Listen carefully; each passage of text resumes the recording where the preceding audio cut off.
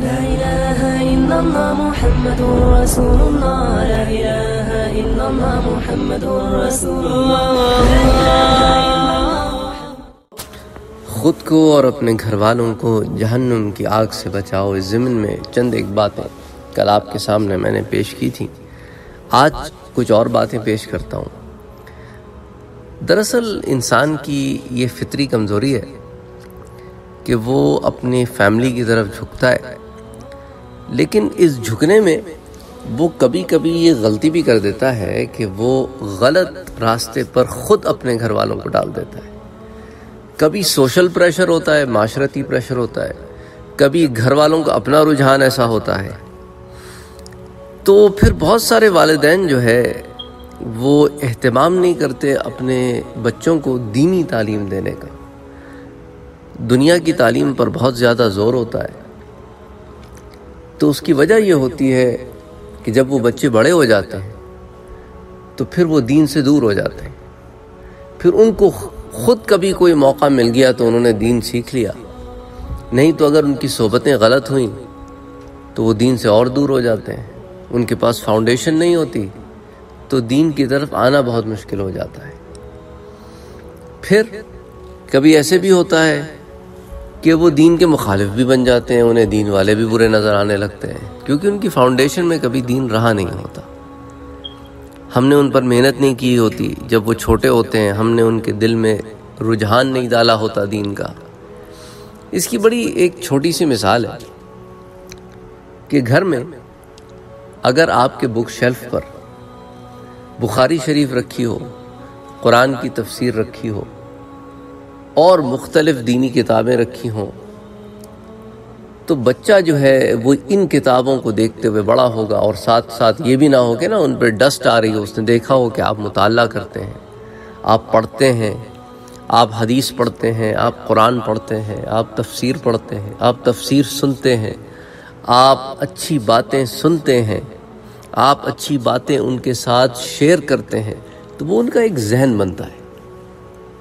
اب اس کو اگر ہم ریپلیس کر دیں کہ گھر میں صبح سے جو موسیقی کی دھنیں چل رہی ہیں، گاڑی میں گانے چل رہے ہیں، آپ خود اپنے ساتھ ان کو بٹھا کے موویاں دکھا رہے ہیں پکچر دکھا رہے ہیں اور خوش ہو رہے ہیں جب وہ مووی کے گانے آپ کے ساتھ بیٹھ کر گاتے ہیں اور وہ پسند کرتے ہیں کہ بھائی دیکھیں وہ والا گانا لگا دیں، تو آپ وہ گانے لگا دیتے ہیں۔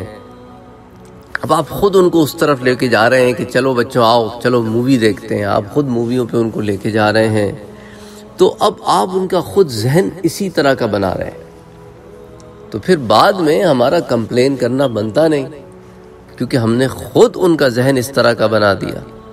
انہیں موویز کے ایکٹرز اینڈ ایکٹریسز ان کو فالو کرنا اچھا لگتا ہے، کیونکہ ان کا ذہن یہ بنا ہوا ہے کہ لک اپ ٹو دیس پیپل یہ تمہارے رول ماڈل ہے بجائے اس کے کہ وہ دین والوں کو اپنا رول ماڈل بنائے۔ تو ذہن بنانے کی ضرورت ہوتی ہے۔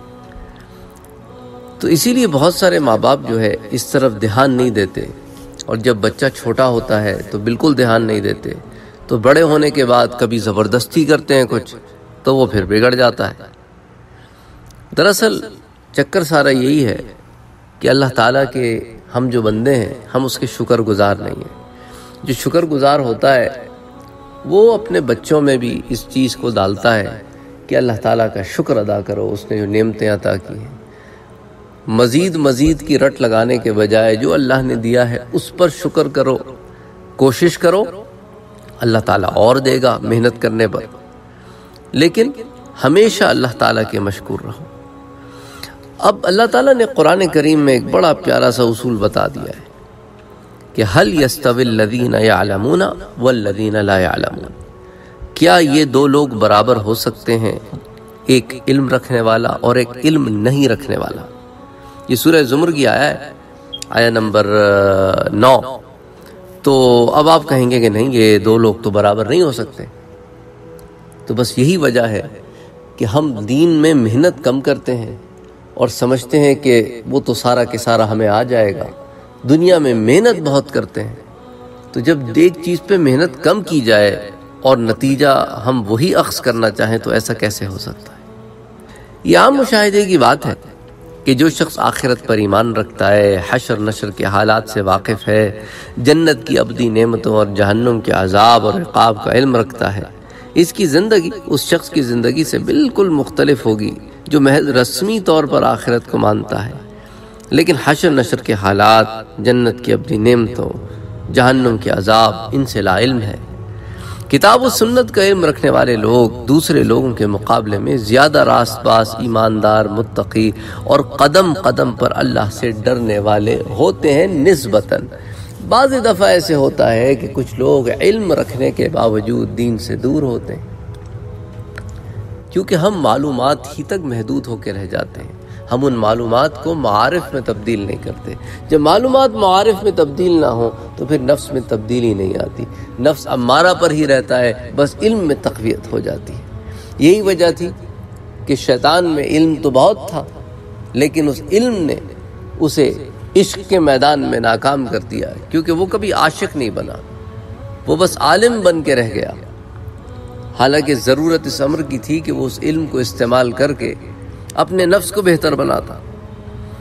تو دا باٹم لائن ہے جس کو قرآن بیان کرتا ہے، سورہ فاتر کی آیت ہے کہ انما یخش اللہ من عباده العلماء۔ حقیقت یہ ہے کہ اللہ کے بندوں میں صرف علم، کون سا علم؟ یہ قرآن اور حدیث کا علم۔ یہ رکھنے والے لوگ ہی اس سے ڈرتے ہیں۔ یعنی صحیح معنوں میں جنہوں نے قرآن اور حدیث کو اپنا اوڑنا بچھونا بنایا ہو، وہ تقوی کے میدان میں بھی آگے ہوتے ہیں۔ ہم نے ایسے علماء بھی دیکھے ہیں جو علماء سو ہیں، لیکن ہم نے ایسے علماء بھی دیکھے ہیں جو علماء خیر ہیں۔ تو اب علم کو آپ کس طرف استعمال کرتے ہیں؟ That makes a lot of difference بہرحال بات ہو رہی ہے، انسان کو اپنے گھر کا ایک ماحول بنانا چاہیے۔ ہر گھر کا ایک ماحول ہوتا ہے، لیکن اس ماحول کو اسلامی ماحول بنانا چاہیے۔ بچے کی شخصیت کو قرار اور سنت کی تعلیم کے سانچے میں ڈھالنے کے لیے گھر کے اندر اسلامی ماحول کا قیام بہت اہم ہے۔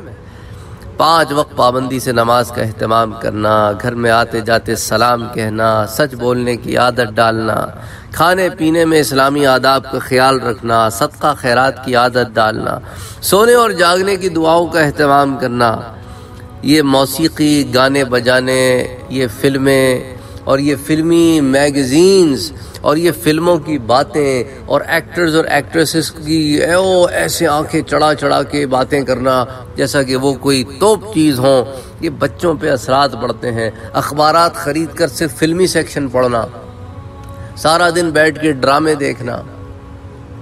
تو پھر تو تبدیلی نہیں آئے گی نا میرا بھائی؟ گھر کو پاک صاف رکھنا، جھوٹ غیبت، گالی گلوچ اور لڑائی جھگڑے سے بچنا، انبیاء کرام کے واقعات۔ صحابہ کرام کے واقعات، اہل بیت کے واقعات، قرآنی قصص، اس طرح کی چیزیں بچوں کے ساتھ شیئر کریں، انہیں پڑھنے کے لیے دیں، آپس میں ایک دوسرے کے ساتھ محبت سے پیش آنے کا کہیں۔ یہ ساری باتیں ایسی ہیں جو بچے کی شخصیت کی تعمیر کرنے میں بنیادی کردار ادا کرتی ہیں۔ لہذا جو والدین اپنی اولاد کو جہنم کی آگ سے بچانے کی ذمہ داری پوری کرنا چاہتے ہیں، ان پر لازم ہے کہ وہ اپنے بچوں کو قرآن اور حدیث کی تعلیم دلوانے کے ساتھ ساتھ گھر کے اندر مکمل اسلامی ماحول بھی انہیں فراہم کریں۔ یہاں پہ اہتمام کرتے ہیں کہ میرا بچہ قاعدہ نورانیہ پڑھ رہا ہے، اور اس کے بعد میرا بچہ سپارہ پڑھے گا۔ جب وہ دورہ قرآن ختم کر لے کسی عالم کے ساتھ، تو پھر اس کے بعد نیکسٹ سٹیپ پر بھی جائے۔ بس ہمارے پاس کیا ہوتا ہے کہ آمین کے پاس بس سبحان اللہ ختم، بس قرآن بند کر دیا اور اس کے بعد بچہ کھولتا ہے، نہیں کھولتا ہے، پڑھتا ہے، نہیں پڑھتا ہے۔ اس کو قرآن کی تحفیظ میں، اس کو قرآن کی صورتوں کے یاد کرنے میں ڈالیں۔ تھوڑا سا بڑا ہو جائے تو جو صورتیں یاد کی ہیں، اس کا ذرا فہم و ادراک اس میں پیدا ہو کہ اس کو پتہ ہو میں کیا پڑھ رہا ہوں۔ اس طرح کام کرنا پڑتا ہے۔ بچہ جو ہے، اس کو آپ کو سانچے میں ڈھالنا ہے۔ تو محنت کریں، اللہ تعالیٰ سے دعا کریں۔ اللہ تعالیٰ ہم سب کے اہل عیال کو جہنم کی آگ سے بچائے اور ہم سب کو اللہ تعالیٰ جنت میں جانے کی توفیق عطا فرمائے۔ اپنے بچوں میں نا جنت کی محبت ڈالو، جنت کی محبت ڈالو، جنت کی باتیں کرو، جنت کی واقعات سناؤ۔ وہ کہیں گے اچھا اچھا بچے ہوتے ہیں نا، وہ کہتے ہیں اچھا وہ جنت میں یہ بھی ہوگا۔ تو اس کا جواب آپ نے یہ دینا ہے کہ بیٹا، جنت میں جو تیرا جی چاہے گا وہ ہوگا۔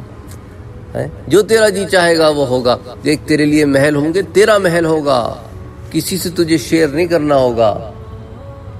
تیری نہریں ہوں گی، تیرے پیڑ ہوں گے، آہا، تیرے باغ ہوں گے، تیرے خادم ہوں گے۔ اس کو یہ باتیں ہوں گے سبحان اللہ، تیرے پھل ہوں گے، تیری نہریں ہوں گی۔ جو جوس پیے گا، مگ مگ بھر کے، تیری آنکھ، تیرے ہاتھ کے اشارے سے تیری نہریں یہاں آ جائیں گی۔ تیری اپنی ملکیت اتنی ہوگی جتنی دنیا بھی نہیں ہے۔ دنیا سے کئی گنا بڑی تو تیری اپنی اپنی جاگیر ہوگی پرسنل جو کبھی ختم نہ ہونے والی ہوگی۔ اور تیرے پاس ایسی ایسی سواریاں ہوں گی، کیسی سواریاں ہوں گی، جہاں جانا چاہے گا، وہاں پہنچ جائے گا۔ جو سوچے گا، وہ مل جائے گا۔ بچے کو ایکسائٹمنٹ دے نا آپ، تو پھر بچہ کہتا سبحان اللہ. چلو پھر اس پہ محنت کرتے بہرحال، اللہ تعالی ہم سب کی مدد فرمائے۔ وما علینا الا البلاغ۔